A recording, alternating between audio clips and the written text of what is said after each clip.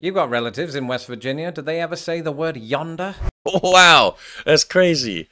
I was literally just talking about West Virginia, and then his wife has family from there. That's that's nuts. I wonder what part actually. Yeah, I have a cousin who still lives there, and he always says, yonder on the next ridge. How's it going, guys? Welcome back to the channel. We're going to be checking out another video by Lost in the Pond. This one is going to be six words that died out in Britain, but not in America. So, this is uh, the guy's name is Lawrence. If you're unfamiliar with his channel, he's British, moved over from England to, like, I think Indianapolis originally lived there for a while. Now he lives in Chicago. He's been in America for, I don't know, six years, ten years. I'm not quite sure actually. But anyways, he does he does cool little videos about like the comparisons and all that kind of stuff, the differences between the two, and uh, they're great videos. So go ahead and hit like. Links down below for the original video, so you can go check that out. And uh, yeah, we're to find out. Six words that died out in Britain. But not the good old USA. Hello. Remember three weeks ago when I said this? Many of these raccoon groups faced extirpation, which is when a species goes extinct in one particular region but not in others. Well, it turns out the same thing can happen with words. Appropriate. All right. Um, I didn't watch that video. I did see that one pop up about the American raccoons. Appropriately for a video about the words of our ancestors, we're thrilled to partner today with MyHeritage. I'm Lawrence and I'm on a quest to uncover all of the memos that Britain and America lost in the pond and one of those memos pertains to archaic vocabulary. In other words, vocabulary that was brought by the British to North America where it survives to this day despite long having died out in Britain. And before you ask, soccer is not among them because contrary to popular belief, soccer, while dispreferred to football, still has a surprisingly large presence in British English. Instead, we're talking about Really? American English words that predate the British colonization of North America, but that died out in Britain in the aftermath. If British American trivia is your sort of thing and you haven't had a chance to subscribe to this channel, do that now! In the meantime, here are six words that became extirpated in Britain but still remain in the United States.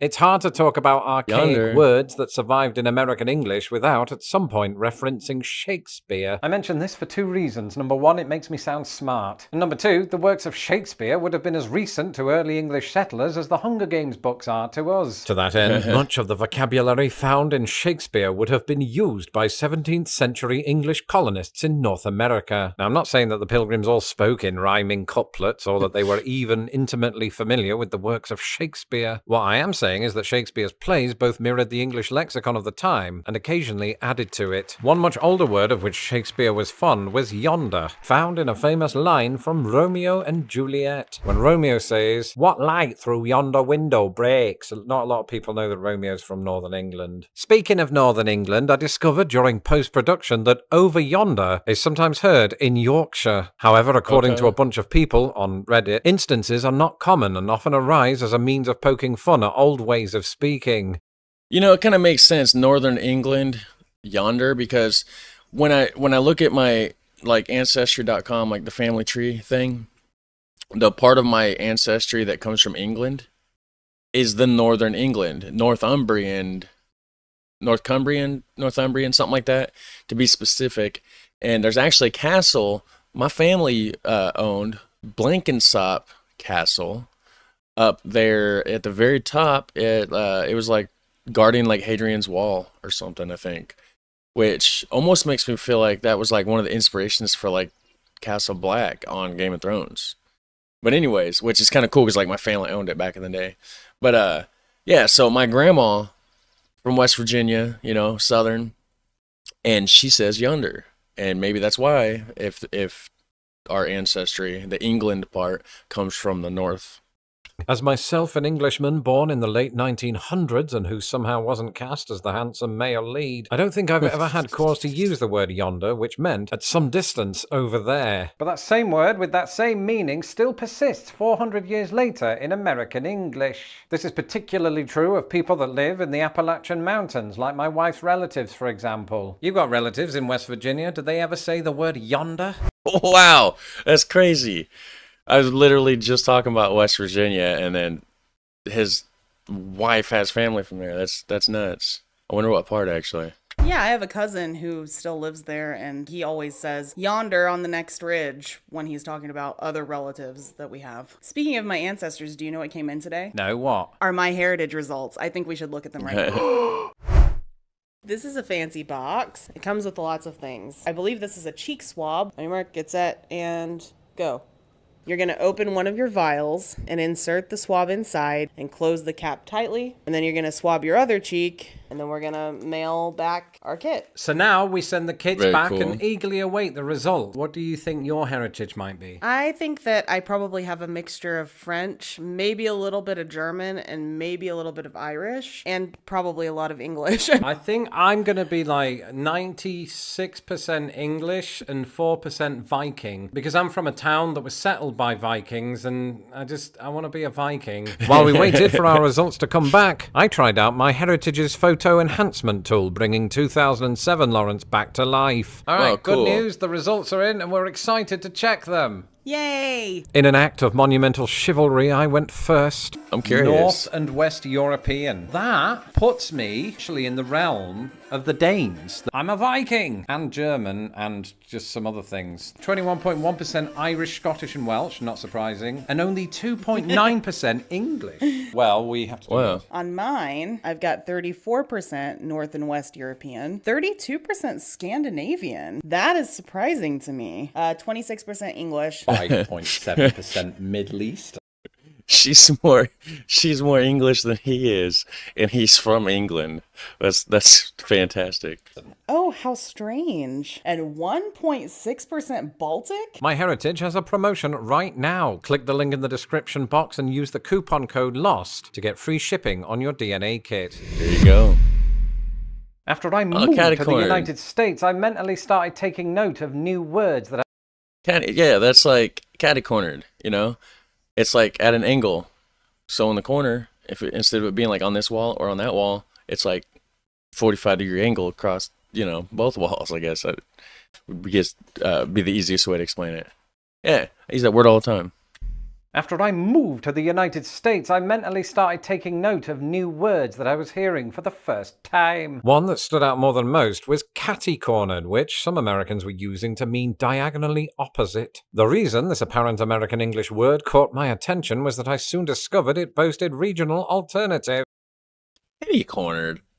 Never heard of that. Huh.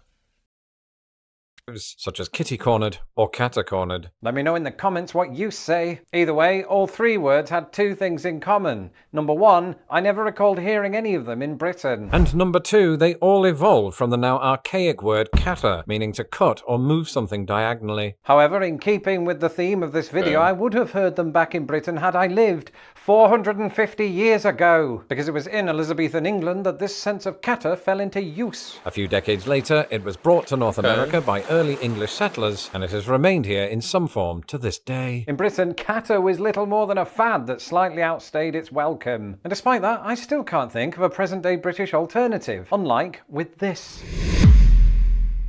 In Yeah, October fall. 2022, I answered this question on Or autumn, I guess, but yeah, fall. YouTube Shorts. Why do Americans call it fall instead of autumn? Well, ignoring the fact that many Americans do say autumn, the reason for its seasonal alternative might surprise you. You see, the origin of the word fall to mean autumn dates back to the 1500s, which you'll note predates the formation of American English. At that time, people in a little known country called England commonly used the expression fall of the leaf to describe the season immediately after summer. Similarly, they describe the season that follows winter as the spring of the leaf or sometimes spring of the year. In I've always wondered about that because it's like people call it fall, and I've always thought like maybe it's because the leaves fall. Like, you know what I mean? I was right. That's cool.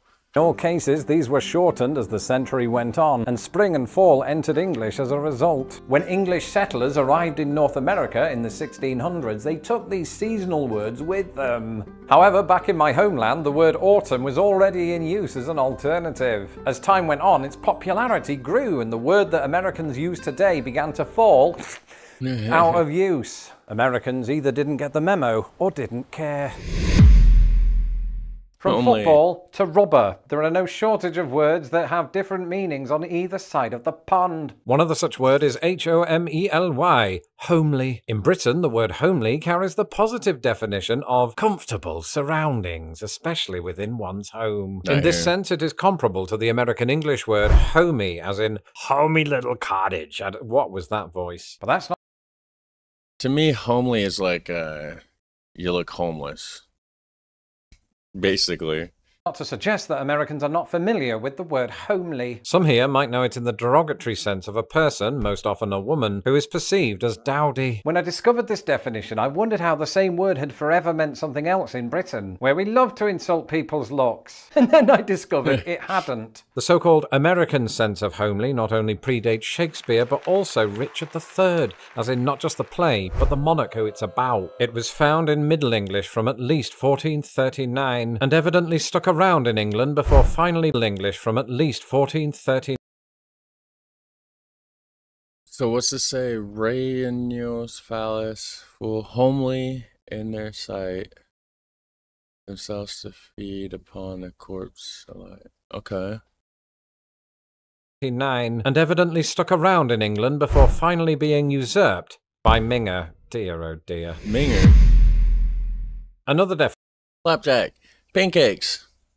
Definition upon which Britain and America can't seem to agree is that of the word flapjack. As somebody who endured British school dinners, I always knew flapjack to mean some sort of cereal oat bar, you know, similar to what Americans would call a granola bar. This is Okay. obviously not the case in the United States, where No. flapjack serves as an alternative name for one of America's favorite breakfast items pancakes. Which begs the question which meaning came first, and why is it the American one? Well, the answer to that is simple. Hmm. The first known use of flapjack to mean cereal bar dates only to 1935, long after the British Empire had lost its grip on American English. But on the flip side, Okay. Pancakes went by flapjacks much earlier. In fact, the word, which was often hyphenated when it emerged in the early 1600s, was derived from the notion of flipping the cake or pancake. In 1609, a well known Okay. writer by the name of Shakespeare again mentioned them in his play, Pericles, Prince of Tyre. Come, thou shalt go home, and we'll have flesh for holidays, fish for fasting days, and moreover, puddings and flapjacks, and thou shalt be welcome. And thou shalt wash it all down with a hearty goblet of dairy fluid found over yonder. And that dairy fluid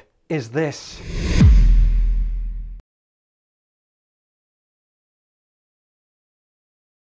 You don't say skim milk in England anymore? That's right, skim milk. And Americans who've never seen this video might be thinking, does Britain not have skim milk? Yeah, I've never seen that video. I'm confused. They probably do. They just call it something different, right? Maybe they don't. I don't. I honestly don't know. And the answer is yes. It's just that back across the pond, Right, it's known by the completely different name of skimmed milk. So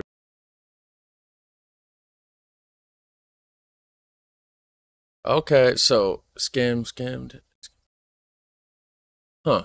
That's similar. So similar, in fact, that you might argue that the word is alive and well in Britain. Except at one time, we favoured what is now perceived to be the American way. Although the widespread dietary acceptance of skim milk is traced to the mid 20th century, the concept of producing low fat milk by extracting the cream from whole milk is significantly older. To that end, the earliest known use of skim milk was around 1595, when the word was included in an Elizabethan comedy. The comedy in question was A Midsummer Night's Dream. The playwright, once more, was Shakespeare. Okay, I was gonna say like, is it Shakespeare again? Skim milk and sometimes labour in the quern, and bootless makes the breathless housewife churn. While skim milk is used metaphorically here, it does show that the word was at least an acceptable alternative of skimmed milk, if not the root of it. It's hard to say what caused it to evolve into skimmed milk in British English, other than a desire to make it sound more past tense. Furthermore, perhaps there was something phonetically challenging about articulating two words whose M's touch. All I know is, I really want milk Maybe. now. Final If words. I've learned anything from this video, it's that words, just like all of us, eventually die. Well, some of them. I almost included the word molasses, since it too entered English in the 1580s, made its way to America largely via the slave trade, and was subsequently forgotten about in Britain. Really? But there's a but, right? However, upon However, further yeah. inspection, it seems that molasses is sold in Britain as an alternative to black treacle, the thing to which it's What is black treacle? Most often compared. But I've also learned that in Britain, word fads were just as prevalent then as they are now, and that one country's fad is another country's way of life sort of. Thank you to my ponderers who make this channel possible. If you would like to support Lost in the Pond and everything we do, you can do so today at patreon.com slash lost in the pond or by clicking the I have join one of button those below. now. Until the next video, goodbye. And remember, Except for mine's patreon.com slash is Charlie Vest. Maybe you should go check it out. Maybe not. I don't care. It's up to you to decide. Anyways, you guys have a super fun, awesome day. I'll catch you in the next one over yonder. I don't know. All right, take care. Bye.